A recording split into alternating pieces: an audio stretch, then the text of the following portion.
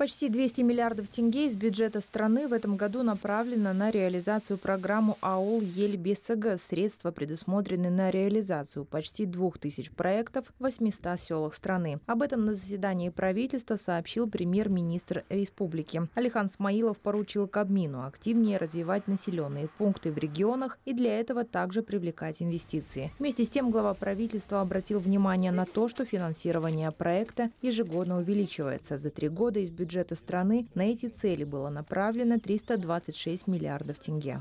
Реализовано свыше 3,7 тысяч проектов по развитию социальной и инженерной инфраструктуры в более чем тысячи сел. Создано порядка 33 тысяч рабочих мест. Хорошую динамику по освоению выделенных средств мы видим в Павлодарской, Актюбинской и Кызлардинской областях. Однако низкий уровень отмечается в Алматинской и области Ултау. Глава правительства напомнил, что также в рамках поручения главы государства в этом году была принята концепция развития сельских территорий. Ее реализация рассчитана до 2027 года.